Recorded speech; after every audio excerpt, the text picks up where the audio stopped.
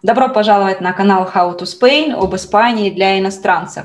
Сегодня мы поговорим на актуальную тему о медицине во время пандемии в Испании. Поговорим как о государственной, так и о частной медицине. И на наши вопросы согласился ответить уже хорошо знакомый вам по предыдущим видео Михаил, практикующий доктор в Испании.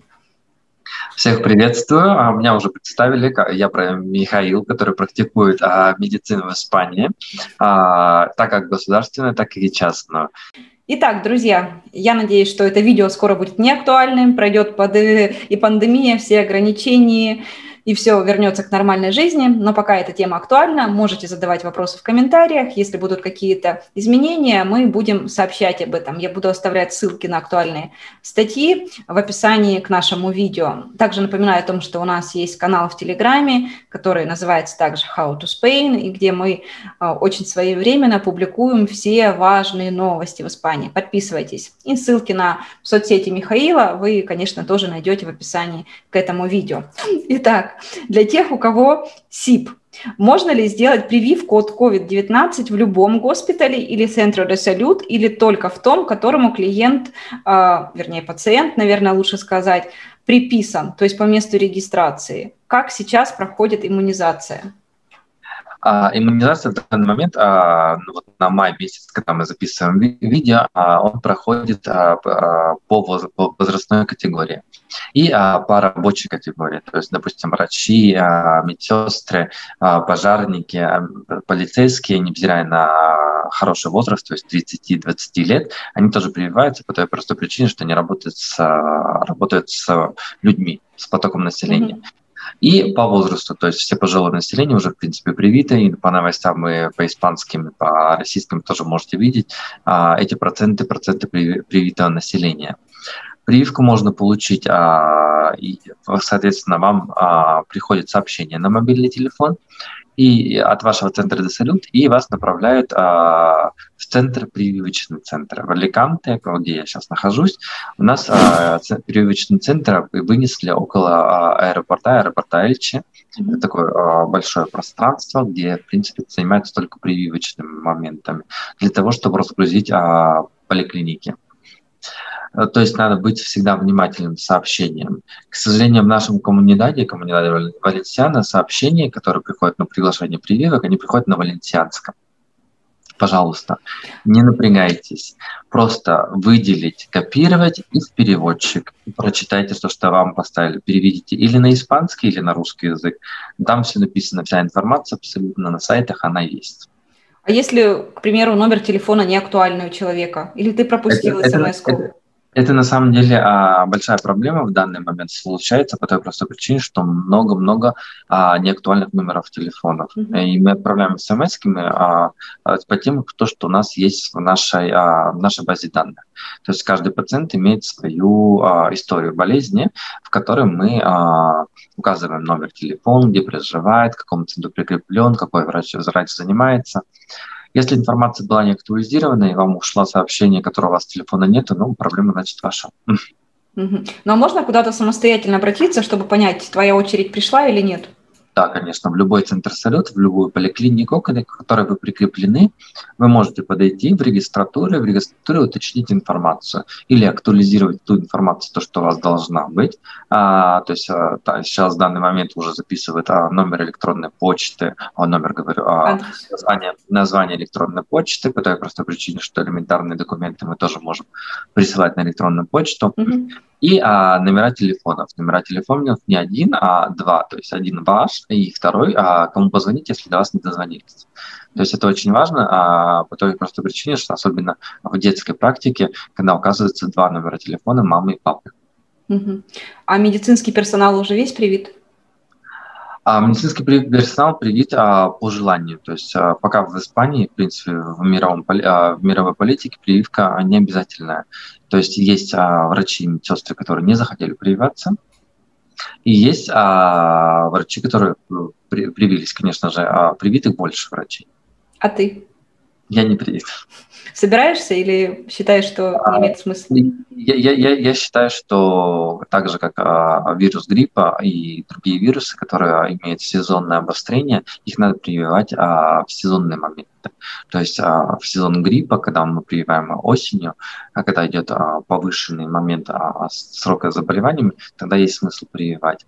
А, и, скажем так, данный момент, когда мы пришли в лето, а, нам, в принципе, лето будет помогать, и мы пришли с снижением в Испании, по крайней мере, цифр заболеваемости, я не вижу пока а, момента. Но это мое личное видение, мое личное. Конечно, момент. да. А, а ты переболел? Нет, я не болел. Я, я болела. Работал, я работал в, неотл, в неотложке, а все это а, период пандемии, а, который а, был статус до алярма, то есть когда мы находились на карантине, mm-hmm. А я работал с коронавирусом напрямую. То есть у меня были все пациенты мои, которые респираторные коронавирусы, в принципе, которые с ними работал. Тем, тем не менее, а вот я а, не заболел. То есть занимаясь спортом, активным образом жизни, хорошее питание, не иметь ожирения. В одном, кстати, в Инстаграме у меня есть статьи по поводу ожирения что показала практика, что люди с повышенным весом а, в COVID выходили гораздо сложнее, с более, а, более а, большим процентом осложнений. Так что задумайтесь. Ну, как доктор, поделись э, советами здоровья и хорошего самочувствия. Что значит активный образ жизни? Что значит здоровое питание? Для каждого это свое. Для кого-то сегодня пиво не выпил вечером, ну уже вроде здоровый образ жизни. Жареная картошечка и пицца нормально. Это, а, я с тобой согласен на самом деле, но самое главное а, актуализироваться. То есть, когда я вел здоровый образ жизни в 20 лет, это не то же самое, что мне надо вести здоровый образ почти к 40 ближе. А мы должны прекрасно понимать, что с возрастом у нас а, наша биохимия, наши процессы, они немножко меняются. Нам необходимо пересматривать. То есть, скажем так, те же самые 20 лет выйти с друзьями шашлычок, пиво, и, в принципе, не, не стараясь ничем не занимаясь, имея хорошее а, физическое здоровье, тело, а, и все замечательно, то уже с, после 30 начинаешь а, закручивать в гайки. То есть а, лишние мороженку не съесть, а, а лучше пробежаться несколько километров. И более того, что я всех призываю пациентов, а, клиентов, а, слушателей, в зависимости, как вы себя называете в этой, в этой сфере, что а, необходимо выходить своему стрессу. А, стресс может выходить или а, когда мы можем заедать этот стресс, или когда мы можем просто выйти и пробежаться по пляжу, или пробежаться по городу, или просто сходить в гимназию, а, заняться каким-то а, понятием веса для того, чтобы вас а, стресс вышел, потому что стресс надо выходить. Именно от вас зависит, как он будет выходить и как он благоприятно выйдет из вас для того, чтобы вам еще от этого и пользу получить. То есть съесть то же самое килограмм мороженого, а, заточить, а, заточить а, бургеры и еще что-то в этом духе, а, минутное удовольствие, но, а, а, скажем так, последствия, они не минутные. Я хочу сказать, кстати, напомнить о том, что Испания занимает лидирующее место в мировом рейтинге по уровню здравоохранения и по уровню долгожительства, да, сколько сейчас, 86,3, по-моему, года средний, средний срок жизни, средняя длительность жизни. И учитывая эти факты, и когда вот ты видишь, что они здесь каждый день употребляют алкоголь и, и курят, все-таки понимаешь, что, наверное, один из главных секретов долгожительства и хорошего самочувствия – это отсутствие стресса и позитив. Вот они а всегда, все будет хорошо, Виктория, вот здесь вот а, сделал такую поправку, то что мы, когда мы видим, а, когда мы, допустим, находимся в России или в русскоговорящих странах, когда мы а, видим людей, которые вышли выпить и покурить, грубо говоря, то а, нет меры. То есть да. там пока вот а, головой в асфальт не упрешься, а, пока а, в драку в какую-нибудь не, а, не залезешь. А, то есть а, хорошо, а, какая пьянка, если никто не подрался, грубо говоря. Ничего вот. вспомнить даже. И слово, и слово там уже получается пьянка, они просто посидели, посидели пообедали. То есть здесь да, отдать должное испанцам, а, у них есть такой вот лимит, то что они а, выпили вина, а, там, может быть, пиво выпили, и на этом, в принципе, остановились. Тесты э, ПЦР и антихенос. Антихенос, как правильно говорить Анти, это? Антигенос. Антигенос. Антихенос, да? Антихенос, sí. Бесплатны ли они для клиентов государственного страхования и в каких случаях? Например, в случаях, связанных с диагностикой при э, соответствующих симптомах при планировании медицинских действий, покрывает ли э, государство стоимость или нет? Ну, а государство, на самом деле, ПЦР а, и а, тест антигена, они покрывают, на самом деле, а, полностью, полностью покрытие идет. Почему? По той простой причине, что я, когда, как врач государственный, если назначаю пациенту с высоким подозрением на коронавирус, тот или иной тест, то э, этот тест является, э, скажем так, э, justificado, то есть подтверждением. подтверждением, подтверждением диагноза, который необходим. Надо прекрасно понимать, что тест ПЦР, тест антигена, это как бы получается дополнительная, дополнительная, дополнительный способ для того, чтобы сделать диагноз, mm-hmm. поставить диагноз. Он может быть отрицательным, и этот а, тест антигена, если вдруг или ПЦР отрицательно, но тем не менее клиника прямо явно, что там что-то не так, то первое это клиника. Ни в коем случае не тест, даже если он отрицательный. А если тест положительный, то, соответственно, это диагноз положительный. То есть там очень высокая чувствительность. И а, в этом случае всегда всем пациентам говорю то, что если вы пришли, допустим, к государственному врачу и думаете, что вы такие умные, а, и вы а, решили там наговорить, что у вас прямо все симптомы есть коронавируса, которые вы прочитали а в интернете, а этой информации достаточно, для того, чтобы вам сделали тест ПЦР или анти, антигены, для того, чтобы вам вылететь куда-либо. Тут я вас сразу останавливаю по той простой причине, что а, а, вам сделают тест, но вас запрут на 10 дней. Ага. То есть, а, так как вы мне сказали, а, как пациент, вы мне скажете, то, что у вас высокое подозрение на заболевание, и как я уже выше сказал, что а, отрицательный результат это а, может быть ложный отрицательный, и 10 дней по-любому вам после того, как вы ко мне придете, в 10 дней по-любому должны быть сидеть дома. Справедливо, хочу сказать. А в частной клинике как? Ты приходишь, оплачиваешь? В частной клинике, вот а, буквально недавно был а, в, а, в Керон, а, в Аликанте, у них вообще без записи. Вы приходите а, вы в часы, а, в часы забора а, иного теста и а, в кассу сразу же оплачиваете, делаете тест. Ну, в Валенсии тоже так. Почему этот тест а, необходим? А, по той простой причине сейчас авиакомпании затребуют именно QRS а, а, код для того, чтобы вы могли взять самолет и вылететь, или тот же самый бланк. То есть, по сути дела, а, пациенты, которые делают ПЦР частные, а, у них симптомов нет. Им просто для полета нужен или для каких-нибудь там бизнес-переговоров, когда они будут сидеть в большой компании в одном зале mm-hmm. в протяжении многих часов. Им необходимо убедиться, что у всех все, все хорошо со здоровьем. Сколько в Аликанте стоит тест? На самом деле, а, сейчас цены, на самом деле, наконец-то начали снижаться, потому что появилась конкуренция, а, и а, вот стоили там чуть ли не 200 евро доходило. Вот сейчас последний, предпоследний, который мне говорили пациента, стоил 120, и вот сейчас я тоже в интернете нашел информацию, перед тем, как мы с тобой mm-hmm. связались, нашел информацию, где-то сейчас уже 80-90 стоит. Угу. То есть, а, наконец-то, я на самом деле а, очень надеюсь, скреща э, пальцы, а, для того, чтобы государство, на самом деле, Испания задумается, и чтобы на этом перестали зарабатывать деньги. Так как это обязаловка, пускай цены снижают. По той простой причине мы прекрасно догадываемся, что тест ПЦР или антигена столько не стоит. Ну да. А этот тест антигена, то есть когда человек переболел, он может Э, сдать, да, и посмотреть, насколько, в принципе, ему нужна вакцина, даже если он задумывается. То есть смысл делать вакцину, если у тебя есть антитела свои. Да, там, там есть на самом деле а, протокол. Протокол, когда мы делаем тест ПЦР. А, один из протоколов это когда пациент а, ПЦР, допустим, когда пациент приходит и говорит, что он был с кем-то в контакте симптомов нет, а был с кем-то в контакте, а именно коронавирус позитивный. Другой тест, когда прошло больше пяти дней заболевания, заболевания а, а, в клинике совсем, то, соответственно, тест антихина уже делать нет смысла, а делать тест ПЦР.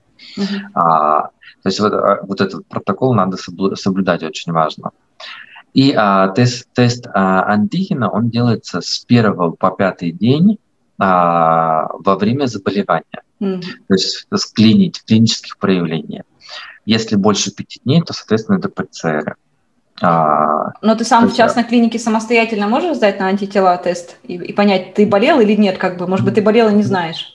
Другой, другой вариант есть а, антитела, антитела а, именно по крови. То есть мы сейчас mm-hmm. уйдем вдруг в третий тест. Это а, тест. А, это, а это другой тест, он по-другому, это да? Другой тест, ага, да. поняла. То есть ПЦР а, и тест для антихена, они а, а, быстрые тесты. То есть mm-hmm. они буквально или капля крови, или а, мазок из носа, или а, ПЦР, или снова антихена тоже берется из мазок из носа. Mm-hmm. То есть а, они разные тесты. А, а, и, соответственно, есть серологический анализ крови на иммуноглобулины. Иммуноглобулин М, а, как правило, говорит об активном заболевании, иммуноглобулин G говорит о том, что заболевание прошло. Нам сразу, сразу, сразу здесь ставлю всем а, тормоз. Если вдруг я переболел только что коронавирусом и взял кровь, да, конечно, я найду иммуноглобулин G и найду какое-то минимальное количество иммуноглобулина М. А, но если я вдруг переболел а, коронавирусом а, достаточно давно, там год или полгода mm-hmm. прошло, а, уже, уже давно коронавирус а, буйствует, вот, то, соответственно, есть а, очень высокий процент, там чуть ли не 98%, когда вы а, не найдете абсолютно ничего ни иммуноглобулинов G, ни иммуноглобулина М. Это не значит, что иммунный, иммунитета нет это в том, что, значит, что пока в нем нет нужды, из-за этого иммуноглобулины не появляются в крови. Угу. Наш организм на самом деле умный, и вы, выдает нам те, те или иные иммуноглобулины, когда мы в них нуждаемся. Поняла.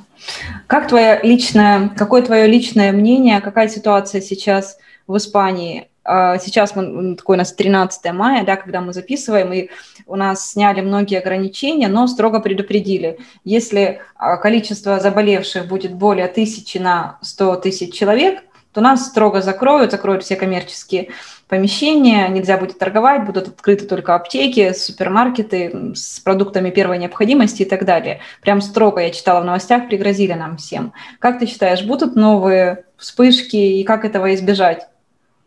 Ну, а, смотри, а, как практика показала, то, что то, что мы работали, вот а, все вот эти волны, вспышки, они связаны на самом деле с а, человеческим а, фактором больше.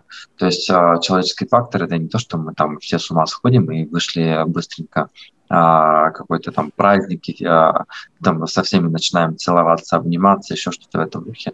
Нет, они связаны а, с тем, что а, люди просто устали. А, и в Испании есть такой процент, а, который занимается, а, как люди устали, и почему вот это вот, скажем так, своевременно, скажем, сняли ограничения, пока вот, коронавирус существует. То есть есть в Индии на данный момент очень такие проблемы сильные идут. Но почему эти ограничения дальше не могли держать? По той простой причине, что народ просто устал а, устал, устал бояться, грубо говоря.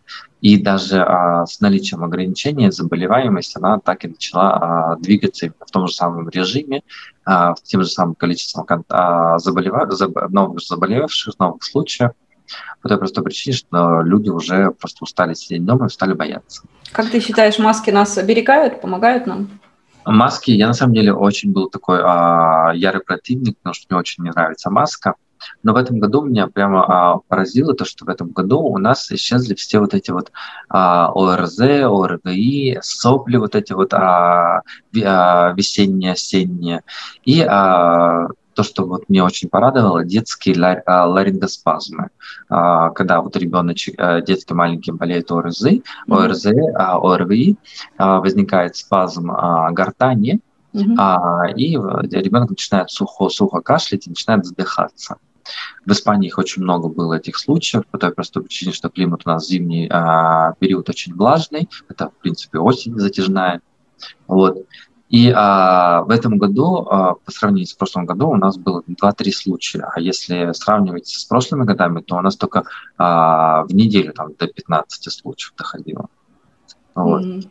И, а, скажем так, вот эти вот ОРЗ, ОРВИ, они на самом деле а, просто потерялись. И это очень хороший такой момент. Возможно. А возможно, люди просто боялись в больницу ходить с соплями просто, чтобы не подхватить ковид? Я думаю, что вот это вот а, ограничение между контактов, а, ограничение вот это вот а, моменты, а, маска на самом, на самом деле помогла людям немножечко как бы а, дать визуальное понятие, что мы сейчас находимся в пандемии. То есть а, люди тормозили а, свои поцелуи объятия, вы прекрасно понимаете, что, что а, в Испании до пандемии все целовались, обнимались, а, они очень тактильные люди. А сейчас, кстати, как вы здороваетесь? У нас вот так, ну, типа... Кулаками. Да, да, кулаками или локтями. Или, или локтями. А, то есть а, тактильность, она исчезла, и, соответственно, вот эта вот а, заболеваемость, она тоже поползла к низу. Именно а, простыми заболеваниями. Как думаешь, мы выйдем когда-нибудь? Когда? Я, из этой я, ситуации? Я, честно говоря, а, думаю, что мы останемся с коронавирусом. Как с гриппом, к, да? К, к сожалению. И он превратится... Он вытеснил грипп в этом году, абсолютно. Вот. И мы с ним останемся именно в том а, моменте, как он есть, и мы к этому должны будем. Но границы между странами откроют? Нет, ну а, чисто как доктор, как ты думаешь, это слишком влияет на распространение вируса, на ухудшение ситуации в странах, где ситуация ну, получше? Я, я, я, я думаю, что границы, а, мой, мой личный, это уже там уже вопрос Только, больше как? политический момент, да. а, но мой личный момент, как медицинский, что, конечно, наша повышенная подвижность по миру, а, дает а, вот это вот повышенное распространение, распространение того или иного вируса, не только о коронавирусе разговариваем а, закрыть сейчас вдруг а, все для того, чтобы люди перестали двигаться, скажем так, мы уже слишком, все слишком тесно связаны. У нас уже нет а, натурального хозяйства. Когда мы живем в деревне, а, производим свою собственную одежду, еду а, и предметы быта, мы уже зависим от мирового, мирового рынка. Поэтому откроют все-таки, несмотря на то, что есть риск. Ждем, пусть так и будет. Как говорится, волков боятся в лес не ходить. Это точно, это точно. Друзья, ну мы искренне надеемся, что ситуация наладится. Сейчас мы находимся в довольно позитивной обстановке, когда ограничения сняли. И очень хочется верить, что не будет повода выходить с другими новостями на канал. Но на всякий случай поглядывайте на наш телеграм-канал, где вы найдете все, всю актуальную информацию о текущей ситуации. Мы публикуем обычно в тот же день, когда есть что-то действительно важное, чтобы вы не рассеивали свое внимание на ненужные новости. Мы действительно что-то прям супер важное там публикуем, когда оно появляется. Михаил, спасибо тебе большое большое. Я, я думаю, в твоих социальных сетях наши зрители также найдут полезную информацию для здоровья и о медицине в Испании, поэтому ссылочки на соцсети Михаила есть в описании. Я благодарю вас и ждем ваши новые вопросы, чтобы у нас был повод с Михаилом снова встретиться и ответить на них. Желаю всем хорошего дня. Пока-пока.